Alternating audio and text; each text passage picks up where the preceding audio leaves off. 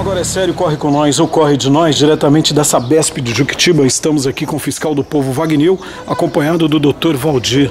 Bom dia, tudo Bom bem? dia, bom dia, tudo bem? Bom dia. Doutor e Wagner, qual o motivo da presença de vocês hoje aqui na Sabesp? O juiz de Itapecerica expediu, deu uma decisão, uma liminar, para que a Sabesp regularizasse o serviço de água. Então, água limpa, sem cheiro, sem cor, em cinco dias, ou fornecimento de caminhão-pipa. Nós chegamos aqui após o funcionário da Sabesp, que foi muito cordial, nos informou que o ofício deve ser entregue em registro. Estamos aguardando o protocolo e dentro de instantes partiremos para registro. Quer dizer então que aqui não aceitou o, o ofício do Ministério. Não Comandante. aceitou o ofício, mas indicou o caminho e indicou que foi ordem de cima.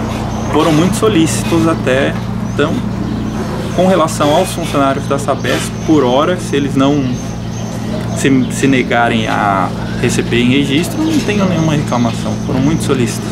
Doutor, a, a situação que se encontra a Sabesp aqui em Juquitiba é, é- é lastimável, né? O senhor que Não tem é- acompanhado aí a... pelo que eu vi, pelo que conheço de outras agências, não é o padrão das outras agências. E imagino que não seja o padrão de empresa que os investidores estrangeiros imaginam que seja. Mas Wagner, se a Sabesp não cumprir aí, É, na verdade, assim que eles receberem o protocolo, né, conforme o Dr. Valdir falou, eles têm cinco dias úteis para executar a determinação judicial, não é isso, doutor? isso, cinco dias. Se não executarem, tem que justificar e fornecer caminhão-pipa para a população.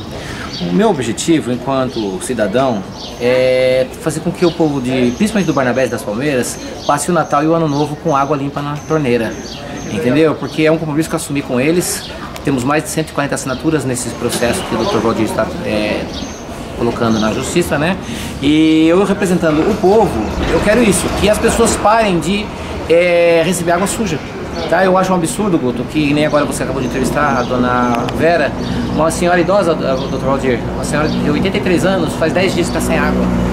E as pessoas que têm água não recebem água, recebem uma, borra de café, uma coisa que não dá para tomar um comprimido, sabe? Lá no Barnabés a gente tem várias pessoas doentes, é, idosos, pessoas que usam fralda. Como viver numa situação dessa? Isso.